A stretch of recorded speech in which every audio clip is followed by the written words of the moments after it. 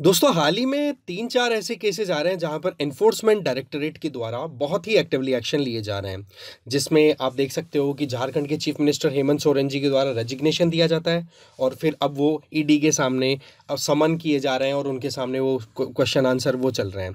दूसरी तरफ़ देखी जाए तो लालू प्रसाद यादव जी और उनकी फैमिली के साथ में क्वेश्चन सवाल जवाब है। वो इन्फोर्समेंट डायरेक्टरेट लगातार कर रही है।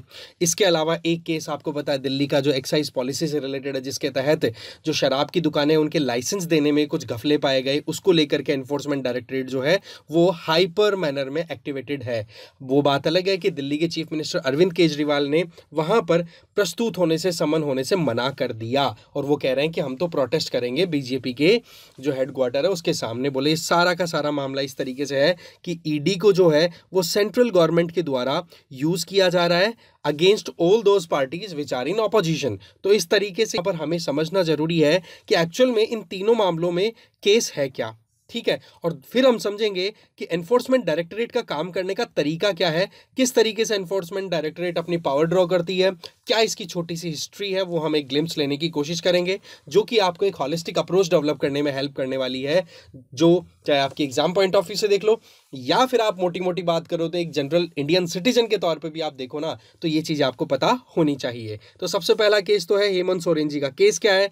देखो जी, ज़मीन को लेकर के फ्रॉड का मामला देखने को मिल रहा है कि माइनिंग की जो ज़मीन थी उसको लेने देने में और उसकी ऑनरशिप ट्रांसफ़र करने में बोला, ज़मीन माफिया लैंड माफियाज के साथ मिलकर के इन्होंने काम किया। इस तरीके के एलिगेशन लगाए गए इन्फोर्समेंट डायरेक्टोरेट के द्वारा।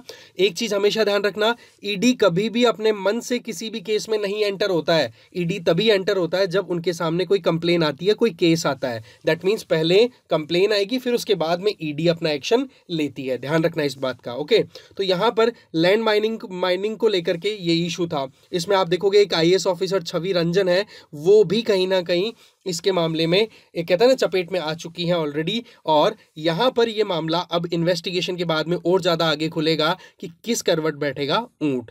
दूसरा केस है, वो है लिकर केस लेकर के आप दिल्ली की एक्साइज पॉलिसी आपको ये ध्यान होगा कि एक्साइज ड्यूटी है ना, वो बेसिकली मोर और लेस स्टेट गवर्नमेंट के अंडर कंट्रोल होती है। ठीक है? और उसमें भी अगर लिकर की बात आ जाए तो लिकर को अभी भी जीएसटी के अंडर में नहीं लाया गया है। ऐसी परिस्थितियों में स्टेट गवर्नमेंट अपने हिसाब से रूल रेगुलेशन लाइसेंसिंग इनका मामला स्टेट गवर्नमेंट ही टैकल करती है। तो दिल्ली में क्या है कि 2021-22 की जो एक्साइज पॉलिसी है, उसके तहत यूँ कुछ ऐसा देखा गया कि दिल्ली गवर्नमेंट के द्वारा कुछ जो शराब के जो, आप कह सकते हो, दुकानदार हैं या लिक्विड ट्रेडर्स हैं उन लोगों से इस तरीके से सेटलमेंट कर लिया कि इन्होंने लाइसेंस उन गिने चुने लोगों को ज़्यादा दे दिया है। उसके बदले में बोले ब्राइब ली थी दिल्ली सरकार ने। इस तरीके के केसेस केस जो है, वो हाईलाइट हो रहा है। तो कहने का मतलब ये हो गया कि यहाँ पर एक, आप कह सकते हो कि अनबायस मैनर में लाइसेंस अलोकेशन किया गया, जो कि कहीं ना कहीं बिडिंग या बोली के आधार पर दिया जाता है। फिर मामला आ जाता है लालू प्रसाद यादव जी की फैमिली का।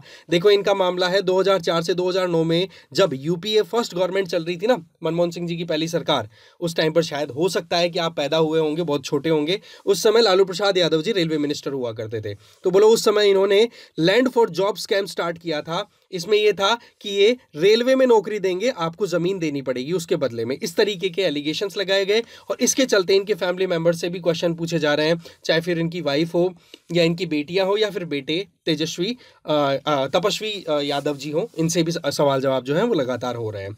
अब देखो, मामला ये है कि यहाँ पर एनफोर्समेंट डायरेक्टरेट किस तरीके से इतना एक्टिवली पार्टिसिपेट कर रही है? देखो, ये सारे केसेज है ना, इनको कंबाइन करके एक टर्म के अंडर आप ला सकते हो that is money laundering money laundering का मतलब एक सिंपल सा सिंपल शब्दों में बताऊँ, ये एक कानूनन गलत काम होता है। ये एक ऐसा प्रोसेस है जिसमें इलीगल सोर्सेज के, से कमाया हुआ जो पैसा है ना, उसको आप इस तरीके से दिखाते हो जैसे कि आपने कोई लीगल काम किया हो। कहने का मतलब आप छुपाते हो कि एक्चुअल में आपने पैसा कहाँ से कमाया, जबकि वो पैसा कमाने का जो तरीका था, वो गलत था गैर कानूनन था। तो इस तरीके के काम को आप बोलते हो मनी लॉन्ड्रिंग और यही केस कहीं ना कहीं यहाँ पर उलझा हुआ दिख रहा है इन मोरलेस तीनों केसेस में। आप देखोगे कि एनफोर्समेंट डायरेक्टोरेट जो है ना, इसकी स्थापना की बात अगर की जाए तो एक मई उन्नीस सौ छप्पन में हो गई थी, नाम दिया था इसको एनफोर्समेंट यूनिट पर उन्नीस सौ साठ में आते हुए सॉरी, उन्नीस सौ सत्तावन में आते आते इसका नाम फिर बदल दिया गया और नाम रख दिया एनफोर्समेंट डायरेक्टरेट 1960 में इसका शुरुआत में जब स्टैब्लिशमेंट हुई थी तो इसको रखा गया था department of economic affair financial ministry देखो, बात ऐसी है कि जब मुद्दा पैसे की लेन देन की आ रही है, जब मुद्दा जब बाहर से पैसे आ रहे हैं, जैसे आप जानते हो एफडीआई भी आता है, लोग जो है एन को डोनेट भी करते हैं कॉन्ट्रीब्यूशन भी करते हैं तो उन मामलों में कई बार गलत तरीके से भी पैसा आता है, गलत तरीके की एक्टिविटीज़ को प्रमोट करने का भी काम होता है। तो ऐसी परिस्थितियों में हमारी गवर्नमेंट के द्वारा ये चीज़ महसूस की गई कि कैसे भी करके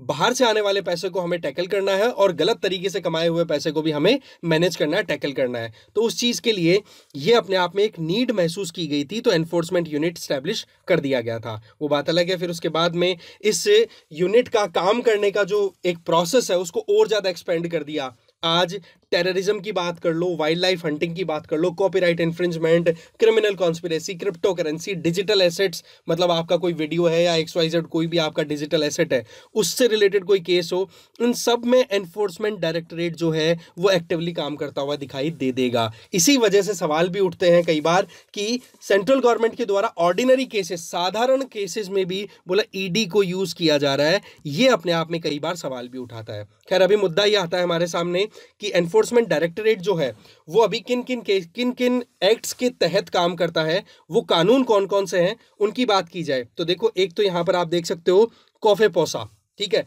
फुल फॉर्म आप अच्छे से ध्यान रख लेंगे, इसका नाम है conservation of foreign exchange and prevention of smuggling activities act of 1974 इसमें क्या है कि अगर किसी के पास में बाहर से कोई पैसा आ रहा है आउट ऑफ़ इंडिया से कुछ पैसा आ रहा है और उस पैसे का गलत तरीके से यूज़ होने का कहीं पे शक आ रहा है और कंप्लेन आई है तो उस केस में प्रिवेंटिव डिटेंशन जैसे आप एक्शंस ले सकते हो। प्रिवेंटिव डिटेंशन का मतलब आप समझ चुके होंगे।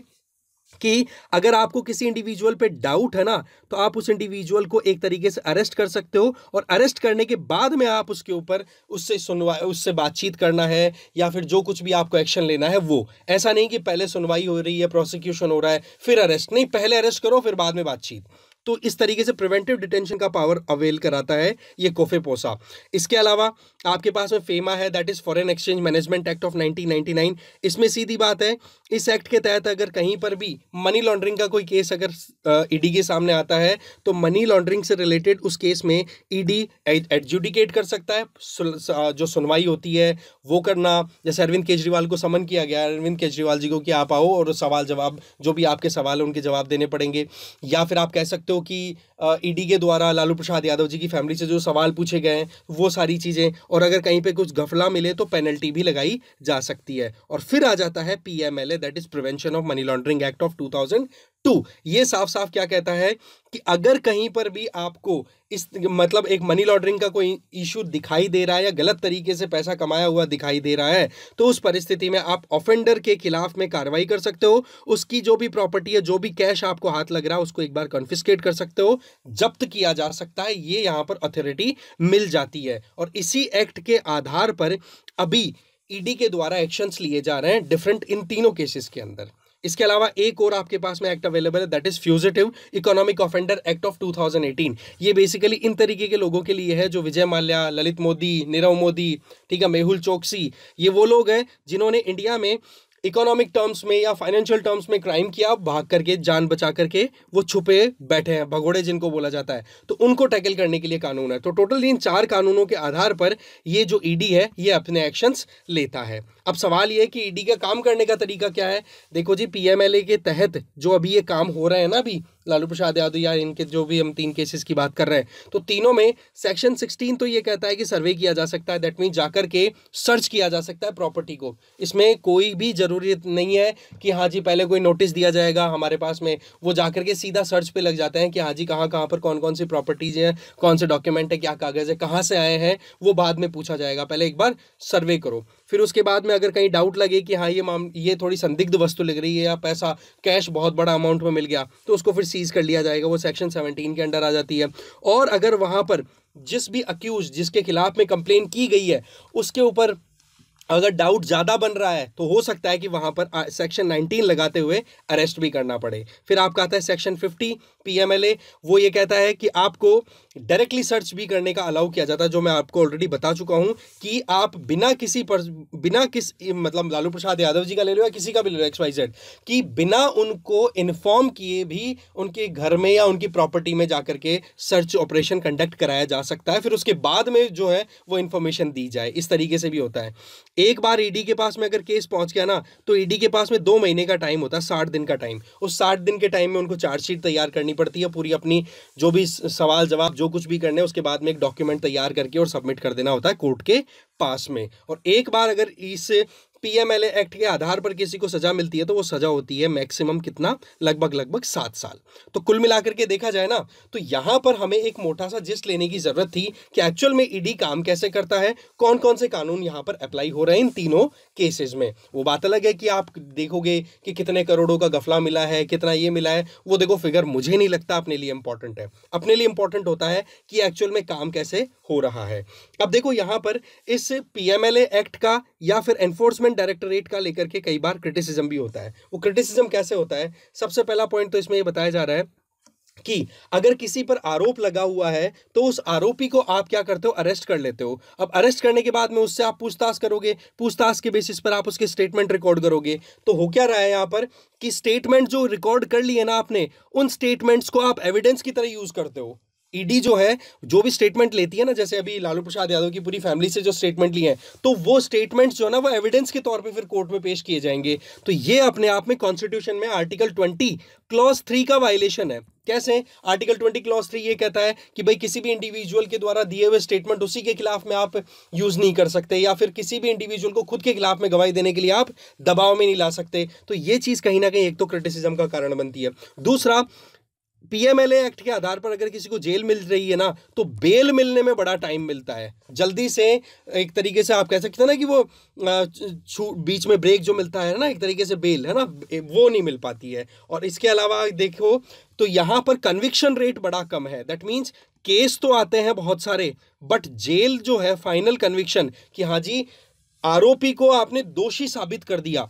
इसमें आपके पास में परसेंटेज रेट बहुत कम है। तो ये कई कारण बताए जाते हैं कि एनफोर्समेंट डायरेक्टोरेट के द्वारा किए हुए एक्शंस जो हैं, वो ज़्यादा पॉलिटिकल मूवमेंट से या पॉलिटिकल मोड में किए हुए रहते हैं, बजाय कि एक कहते हैं ना कि बिल्कुल सब्सटेंशिएट या ग्राउंडेड मैनर में। ठीक है? इसके अलावा एक पॉइंट और यहाँ पर हमारे लिए इंपॉर्टेंट हो जाता है जानना, वो ये कि यहाँ पर जो भी ईडी के द्वारा पीएमएलए एक्ट के अंदर में जो भी इन्वेस्टिगेशन की जाती है ना, उस इन्वेस्टिगेशन के आधार पर बनी हुई रिपोर्ट उस इन्वेस्टिगेशन के आधार पर बनी हुई रिपोर्ट जो है, वो एविडेंस के तौर पे काम ली जाती है किसी भी कोर्ट सुनवाई में। अब आप यहाँ पर देखोगे कि ऐसा कानून इकलौता केवल पीएमएलए ही है। Prevention of money laundering act ही इस चीज़ को अलाउ करता है। पहले टाडा, पोटा, ये टेररिज्म को रोकने के कंट्रोल करने के लिए कई एक्ट्स थे बट उन एक्ट्स को हटा दिया गया। बट अभी के टाइम पर इकलौता ये कानून है, जिसके तहत इन्वेस्टिगेटिंग ऑफिसर के सामने जो भी रिकॉर्ड रेडी होता है, वो कोर्ट में एक एविडेंस की तरह काम में आता है। सो द पॉइंट इज़ कि यहाँ पर हमारे पास में एक एक ब्रॉडर पर्सपेक्टिव आपके लिए तैयार हो चुका है कि एक्चुअल में पीएमएलए क्या है एक्चुअल में ईडी काम कैसे कर रहा है, और ये तीन केस हैं क्या, जिनके खिलाफ में इस तरीके का माहौल बना हुआ है कि जहाँ पर हेमंत सोरेन जी को रिजाइन तक करना पड़ गया चीफ मिनिस्टरशिप से। ठीक है जी? अब आप देखेंगे, सिविल सर्वेंट भी इसमें सीधे आते हैं और जो भी पब्लिक फिगर्स होते हैं, उनके ऊपर सीधा एक्शन लिया जा सकता है। और एक लास्ट में बड़ी इंपॉर्टेंट बात, अगर case F E M A ये जो आपका फेमा एक्ट है ना, उसके तहत अगर आता है, तब तो जाएगा सिविल कोर्ट में। और अगर पीएमएलए एक्ट के अंदर में अगर केस बन रहा है तो वो जाएगा क्रिमिनल कोर्ट में। तो यहाँ पर ये जो केस बन रहा है ना, तीनों के ठीक है, तीनों केसेस के, दिल्ली का देखो, बिहार का देख लो, झारखंड का देख लो, ये सारे के सारे आपके किसमें बन के आ रहे हैं? ये आपके क्रिमिनल एक्ट में। ठीक है जी? तो अब आपके सामने एक छोटा सा क्वेश्चन है, इस क्वेश्चन का आंसर देने की कोशिश करिए। कमेंट बॉक्स में आई होप आपको ये वीडियो बहुत अच्छा लगा होगा। इसी तरीके से नेक्स्ट वीडियो में नई इन्फॉर्मेशन के साथ में, नई डिटेल के सामने एक बार हम फिर फिर से मिलेंगे। Thank you